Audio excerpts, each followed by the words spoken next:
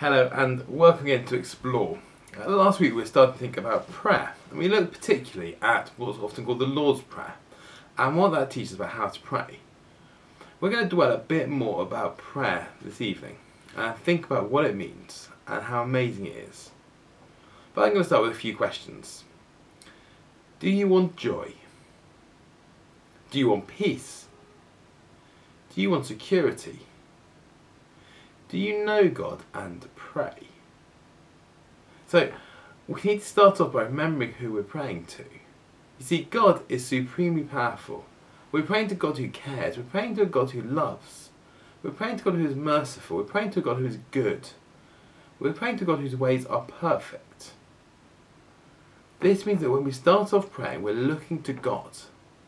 We're remembering who this God is and what He has done for us in rescuing us, in saving us. If we know God through Jesus, then spending time in prayer thinking about Him, remembering His character, remembering what He's done for us, well, that leads to joy. Having joy comes through knowing God. And then we remember that we're praying to God who's our Heavenly Father. As you remember that He's powerful, He's up in heaven. He can answer prayers. He's got the power to answer prayers. But he's also our perfect Father. And so he always answers prayers for our good.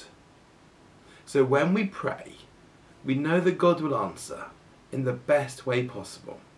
Now, that might be completely different from the way that I would like it to be answered, or that I'd hope it be answered. But actually, if we're knowing God, if we've got that relationship with Him, if we're trusting in Him, if we know that He's good, then we know that when He answers our prayers, He is doing it for His glory and for the best of for us, for all of His people. And so as we bring our prayers to God, as we take all our worries, all our anxieties and give them to Him, actually we know that He'll answer those prayers. And that gives us a peace. Gives us a peace that this world can't give us. And it's true where things are easy or where things are incredibly hard. Actually, true peace only comes from God. There's a brilliant old song that I love, and it says this it says, What a friend we have in Jesus, all our sins and griefs to bear, and what a privilege to carry everything to God in prayer. Oh, what peace we often forfeit, oh, what needless pain we bear, all because we do not carry everything to God in prayer. Have we trials or temptations? Is there trouble anywhere? We should never be discouraged. Take it to the Lord in prayer. Can we find a friend so faithful, who will all our sorrows share? Jesus knows our every weakness. Take it to the Lord in prayer. What amazing truths there are in that song. What amazing truths remind ourselves of what we can miss out on if we're not taking to God in prayer. And then do we want security? Do we want to know that we're loved? That we're cared for? Well, when we're trusting Jesus, prayer does just that. Every time we pray, we remember this through Jesus dying for our sins, taking the punishment for those sins, that we can come into the very presence of God into the very presence of our Heavenly Father, of the Creator of this world. God and Jesus have shown us how much they love us on that day when Jesus hung on a cross. Nothing changes that. If we're trusting Jesus, then we know we are truly and fully loved for all eternity by the one who creates us.